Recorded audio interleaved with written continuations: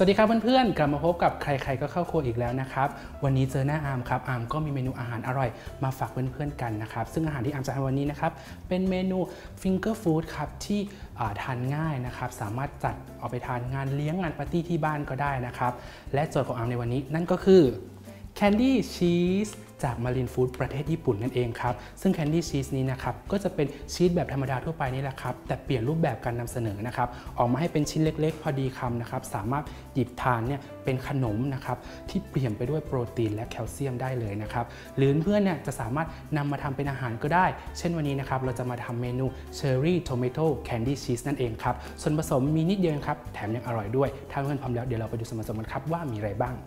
ส่วนผสมของเมนู Cherry Tomato Candy Cheese นะครับ อย่างแรกเลยก็คือแผ่นปอเปี๊ยะครับ ซึ่งแผ่นปอเปี๊ยะนี้นะครับ อาร์มซื้อแบบแช่แข็งมานะครับเขาจะเป็นแผ่นสี่เหลี่ยมใหญ่ๆนะครับ แล้วหั่นให้ได้ 4 ชิ้นเล็กแบบนี้ ขนาดของแผ่นเอ่อปอเปียนี้นะครับ ก็จะประมาณ3คูณ3นิ้วนั่นเองครับ แป้งอเนกประสงค์ น้ำเปล่า น้ำมันพืช มะเขือเทศราชินี และพระเอกของเราในวันนี้นะครับ นั่นก็คือ candy cheese ครับ เป็นชีสแท้ๆ ซึ่งจะมีด้วยกันอยู่ 2 รสชาตินะครับ ซึ่งซองสีน้ำเงินเนี่ยจะเป็นรสธรรมชาติ และซองสีน้ำตาลเนี่ยจะเป็นรสแอลมอนด์นั่นเองครับ วันนี้อาร์มจะเลือกใช้ทั้ง 2 รสชาติเลยนะครับส่วนผสมมีเพียงเท่านี้เองครับ ถ้าเพื่อนๆพร้อมแล้วเดี๋ยวเราไปลงมือทำกันเลย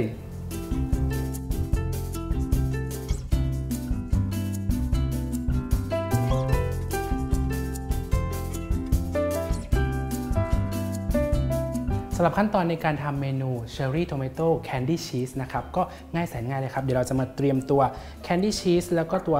Tomato ก่อนนะครับ ตัวนี้เนาะโอเค เริ่มจากตัวนี้ก่อนแล้วกันสำหรับมะเขือเทศนะครับ วันนี้อาร์มเลือกใช้เป็นมะเขือเทศราชินีนะครับ ลูกสีแดงๆ สดๆ แบบนี้เลยนะครับขนาดก็ให้ใกล้เคียงกับตัวชีสเนาะนี่เป็นแบบนี้นะฮะใกล้เคียงกันเลย แล้วก็จะหั่นนะครับ ให้เป็นแว่น หนาประมาณสัก ครึ่งเซนนะครับ แบบนี้ก่อนเลย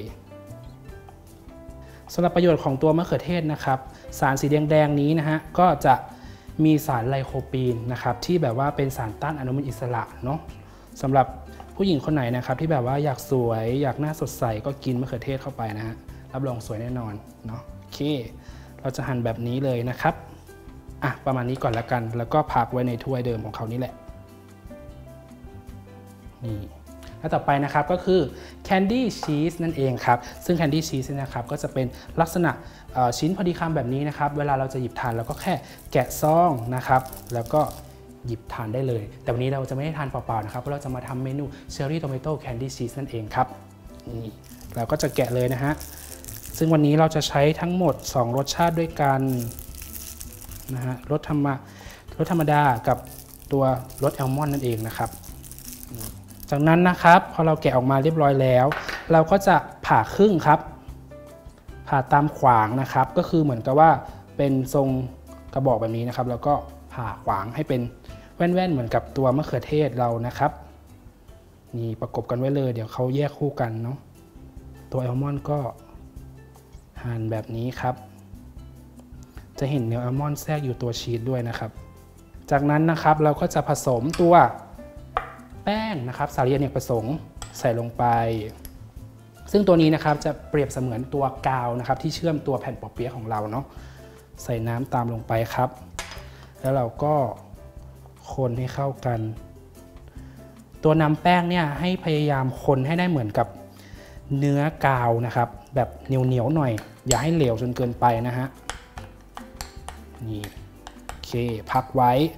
หลังจากนั้นครับเราก็จะเอาชีสนี่แหละครับ แต่ละรสชาติเนี่ยมาประกบตัวมะเขือเทศ นี่ให้เป็นชั้นแบบนี้นะครับ ก็จะได้ลูกอมลูกกวาดของเราแล้วเนาะทำแบบนี้จนหมดเลยนะครับ นี่อันนี้อัลมอนด์โอเค เดี๋ยวอามจะทำให้เสร็จก่อนนะครับ จากนั้นเดี๋ยวมาดูขั้นตอนต่อไปกันครับ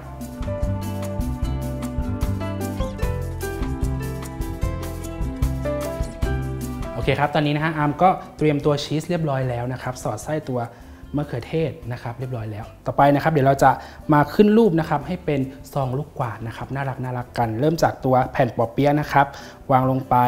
แล้วก็น้ำแป้งที่เราผสมไว้นะครับ ก่อนใช้ก็คนนิดนึง เพราะว่าแป้งอาจจะนอนก้นได้นะครับ เสร็จปุ๊บก็เอานิ้วจุ่มลงไปครับ แล้วก็ทาไปด้านใดด้านหนึ่งของตัวแผ่นปอเปี๊ยะนะครับ ถ้าจะให้ง่าย ๆ ก็คือทาด้านที่ชิดกับตัวเรานะครับ แล้วก็แต้มอีกหนึ่งจุดครับ กึ่งกลางด้านบนแบบนี้ฮะ อันนี้เราก็จะไว้สำหรับเชื่อมตัวชีสแล้วก็ตัวมะเขือเทศเนี่ยให้ติดกับตัวแผ่นแป้งนั่นเองนะครับ วางตรง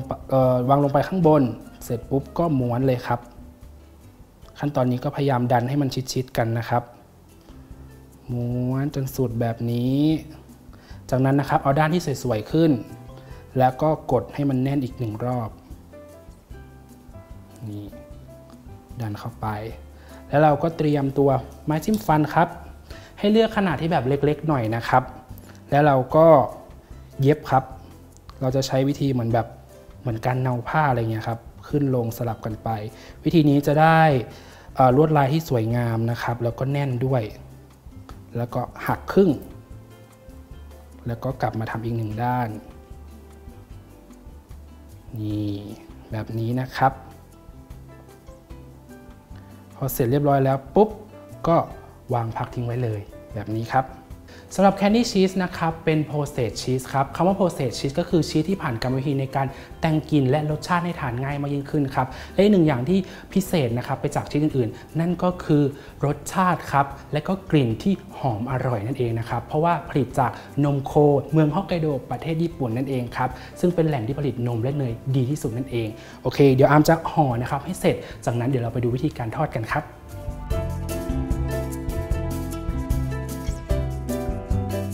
และตอนนี้นะครับเราก็พร้อมที่จะทอดแล้วนะฮะโอเค จากนั้นเราก็จะใส่ลงไปทอดเลยนะครับ ซึ่งวิธีการทอดปอเปี๊ยะเนี่ยอย่าใช้น้ำมันร้อนมาก ไม่งั้นแผ่นปอเปี๊ยะเนี่ยเขาจะด้านนะครับ แล้วก็มันจะเป็นแบบตะปุ่มตะป่ำไม่สวยนะฮะเราต้องใช้ไฟอ่อนๆไฟกลางค่อนข้างอ่อนนะครับในการทอดโอเค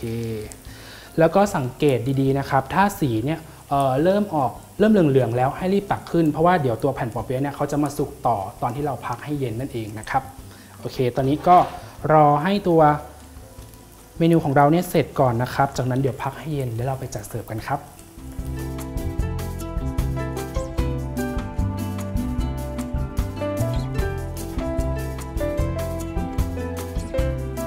เป็นยังไงกันบ้างครับสำหรับเมนูนี้อร่อยและก็ง่ายด้วยนะครับ ได้ประโยชน์ทั้งชีสและก็ตัวมะเขือเทศอีกด้วยนะฮะ ซึ่งตัว candy cheese นี้นะครับ สามารถทานเดี่ยวๆก็ได้นะครับ นี่ลักษณะเป็นแบบนี้ เคี้ยวอร่อยนุ่มๆหนึบๆนะครับ เรียกได้ว่าเพลินกันเลยทีเดียวเพื่อนๆคนไหนนะครับที่สนใจก็หาซื้อได้ในตู้แช่ในซูเปอร์มาร์เก็ตทั่วไปได้เลยนะครับ และสำหรับสูตรนี้ครับสามารถติดตามอัตราส่วนผสม และวิธีทำอย่างละเอียดในเว็บไซต์ของเราที่ foodtravel.tv วันนี้อังขอตัวลาไปก่อนกลับพบกันใหม่นะครับ สวัสดีครับ บ๊ายบายครับ